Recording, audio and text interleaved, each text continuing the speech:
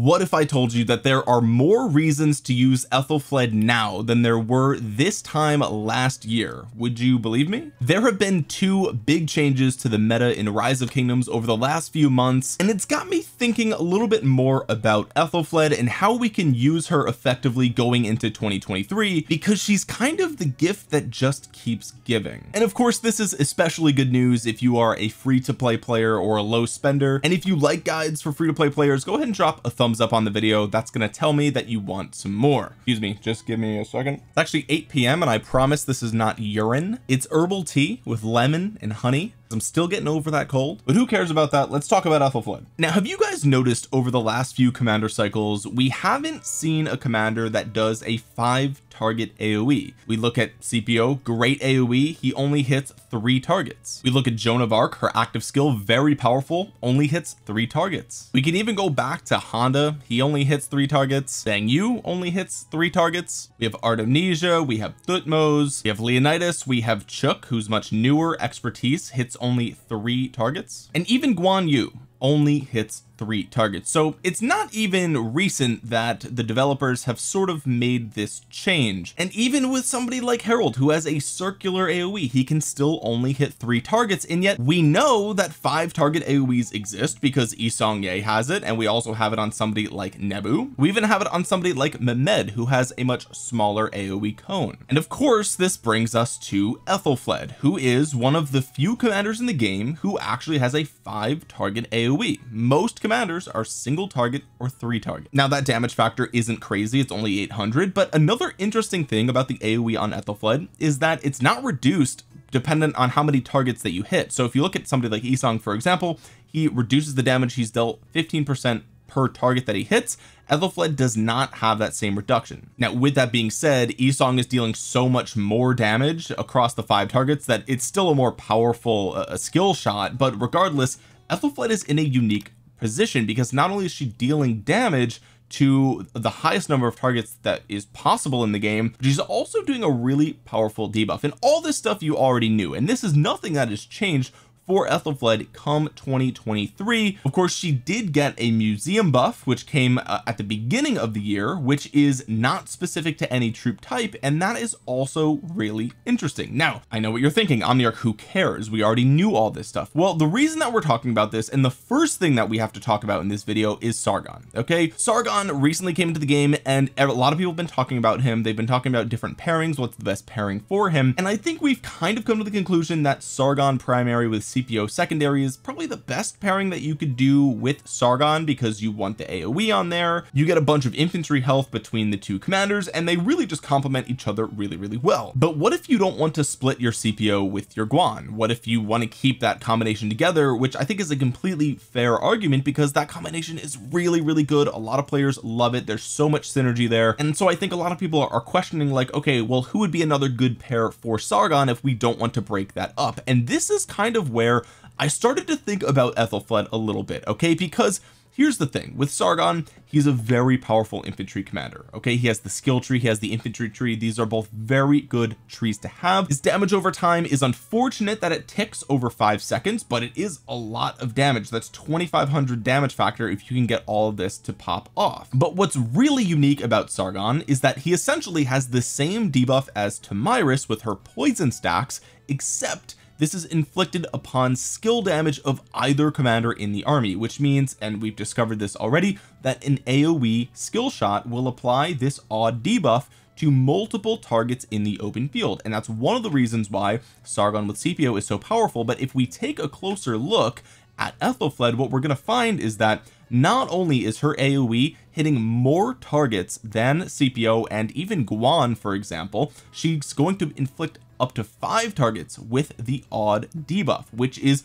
the most amount of targets that you could affect in a single turn. And on top of that she's also applying a 30% reduction to their attack defense and health. Again this is nothing new but the fact that it synergizes so well with this really powerful debuff on Sargon is exceptionally interesting. But here's the other thing. There's more synergy between these two commanders than meets the eye. Well for one Aethelflaed is going to make Sargon take 20 percent less counterattack damage so if people try to swarm him down this is going to help a little bit. It might not be a game changer. Of course getting swarmed is pretty tragic in the open field but it's still really nice. But on top of that she has the effect of her slowdown. Her expertise deals 20 percent increased damage to enemy troops when they're affected by slow. And of course she has the 10 percent chance of doing this herself. But the interesting thing about the infantry tree is that if you use a talent build like this for example you're going to actually get your hands on snare of thorns which gives you another 10% chance to reduce the target's march speed by 20% for the next two seconds. Now of course filling up the infantry tree does mean that you're going to miss out on some of the points like clarity and feral nature right? So obviously that you are sacrificing that but going all in on the infantry talent tree isn't completely unreasonable and it's just interesting to note that it synergizes really well with this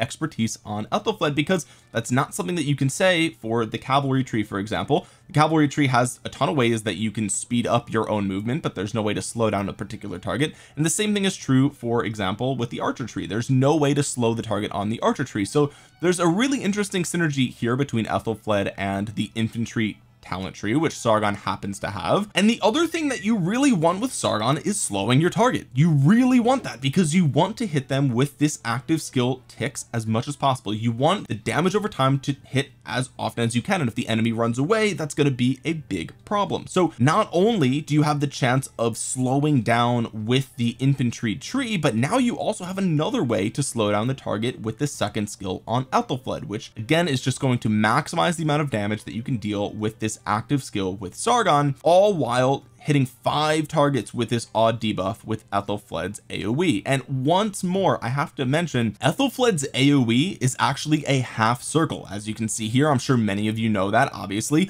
But what that means is that the probability that you hit a target with the odd debuff with Aethelflaed is higher than virtually any other skill damage commander. Now there's exceptions here. Obviously if you have circular AoE like with Harald or like with Yi Seong-Gye for example there's there's just a you know obviously a circle is the best possible thing that you could do. But if you're not pairing her with a commander or if you're not pairing Sargon sorry with a commander that has circular AoE the next best best thing is a half circle AoE like Aethelflaed and I think it should go without saying that you would use Sargon primary here so you can hide your Aethelflaed behind him. And you can also ignore this 20% increased attack. You don't want to have mixed troops with Sargon. You just want to go full infantry because you're going to go all the way up to the top of the infantry tree if this is going to be a pair that you do use. So yes it is unfortunate that two of these skills will not be used at all in PvP but the main thing with this march again this is not really a damage over time march. This is not a glass cannon march. What this is is maximizing the spread of this odd debuff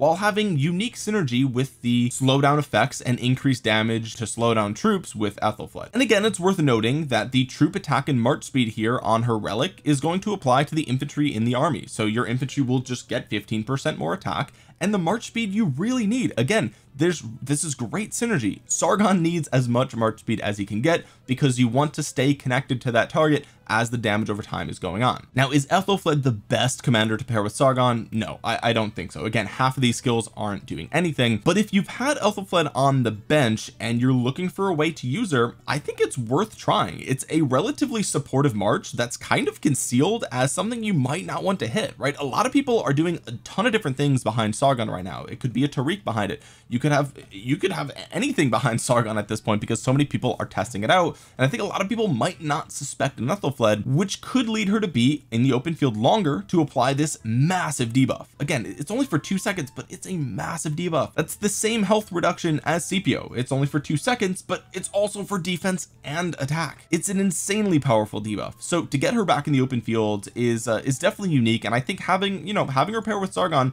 try it out. I think it actually could be surprisingly useful for a supportive march that's still dealing decent damage and slowing everybody down. Now really quick before we move on because I know a lot of you are probably thinking this you're saying okay well if Aethelflaed's AoE is so good for spreading Sargon's odd debuff then why don't you just use uh, Sargon primary Yi Seong-Gye secondary then you have an even more powerful damage factor. It hits the same number of targets but it's circular and you get the 50 percent increased skill damage and I think that that makes sense right? You do get a lot of benefits from that pairing and it's definitely gonna deal more damage obviously. And having this little rage engine here is also nice but remember we're not talking about just spreading the odd debuff. The difference between Yi Seong-gye and Aethelflaed is that she also has that slowdown and the bonus damage during that slowdown as well which synergizes with the slowdown on the infantry tree. On top of that if we look at Yi Seong-gye from a relic perspective his relic only gives archers some stats and you get a little bit three percent more skill damage. So unfortunately Yi Seong-gye uh, behind a Sargon is going to be a skill damage glass cannon who is literally providing zero stats to infantry whereas with Aethelflaed she gives you the march speed from the relic the 15 percent attack from the relic and also the 20 percent less counterattack damage is something that you're missing from Yi Seong-gye so yes again on paper Yi Seong will spread the odd debuff better and deal more damage while they're at it but it's way more glass cannon and there's there's other things that don't synergize quite as well as Aethelflaed but of course if all you care about is glass glass cannon damage I mean you just throw Yi Seong behind anybody and he'll do he'll do well. I'm not trying to deny that fact I just think the synergy makes a little bit more sense with Aethelflaed and Sargon. Does that make sense? Now the second reason you might want to consider dusting Aethelflaed off and picking her up off the bench is because of Joan of Arc Prime. Now she is a very new commander in the game and I think again if you have Joan of Arc and you want to use her in the open field I think most people are using her with Nevsky now and I think that is probably the best case scenario. But it's worth noting that there's a really interesting case to be made here with Joan of Arc as well. Again Joan of Arc primary Aethelflaed secondary. And the reason that the synergy is so interesting and unique is because whenever the secondary commander so in this case Aethelflaed fires her active skill there will be a 100% chance that Joan of Arc casts her sacred banner. That's her own active skill. And this is a very powerful active skill but what happens here is that Joan of Arc's super powerful 2000 damage factor AoE is going to hit the target during the two seconds that they have 30 percent reduced defense and 30 percent reduced health. That's a very devastating debuff to have on you while you're getting hit with sacred banner from Joan of Arc Prime. The more that I think about it that's probably the best case scenario and the best alley-oop setup for the sacred banner hit. Again Aethelflaed applies that debuff AoE so the three targets that you're hitting with sacred banner all have that debuff that was just applied by Aethelflaed now you probably won't still have this five percent damage bonus active from the first sacred banner but even still the fact that this is going to be hitting during such a powerful debuff window is really nice. Plus you know you want to slay people with two badass women. You know you want to do it. That's why we love Boudica Prime with Artemisia okay? Okay jokes aside having Aethelflaed behind Joan of Arc Prime again will give you another way to slow down your targets. You're going to be dealing more damage to those slowed down targets. And imagine hitting a target with sacred banner when they're affected by slowdown so you deal 20 percent more damage. It's an interesting interesting combo okay? Again is it the best pair for Joan of Arc Prime? Absolutely not okay? Absolutely not but we're just talking about creative ways that we can bring Aethelflaed back into the open field and I think Sargon and Joan of Arc Prime are both really new commanders that surprisingly have a, a good reason to give Aethelflaed another chance and just to reiterate on this again when paired with Joan of Arc Prime she's going to get 10 percent more march speed and 15 percent more attack for the cavalry. And that's the beauty of this relic is that it is not specific to a troop type whereas somebody like Minamoto for example it is specific to a troop type. And so the relic on Aethelflaed is just it's good in that way anyway guys if you made it all the way to the end of this video hopefully you'll give a thumbs up on it. It really helps out the channel a ton. It takes one second it's free and it pushes this video out into the YouTube algorithm so other rise of kingdoms players might see it. Of course if you made it to the end I hope you would consider subscribing. That's also free and consider clicking the bell to be notified the next time that I upload a rise of kingdoms video. Comment down below what your thoughts are on Aethelflaed going into 2023 do you think more people are going to bring her out from uh from the shadows so that way they can slow down targets and deal more damage with Sargon or do you think that her time is pretty much over? She's good for earlier game and at this point she's kind of useless. I'd love to hear from you guys in the comment section below. With that being said guys thank you so much for watching. This has been Omniarch. I will talk to you guys again soon. Peace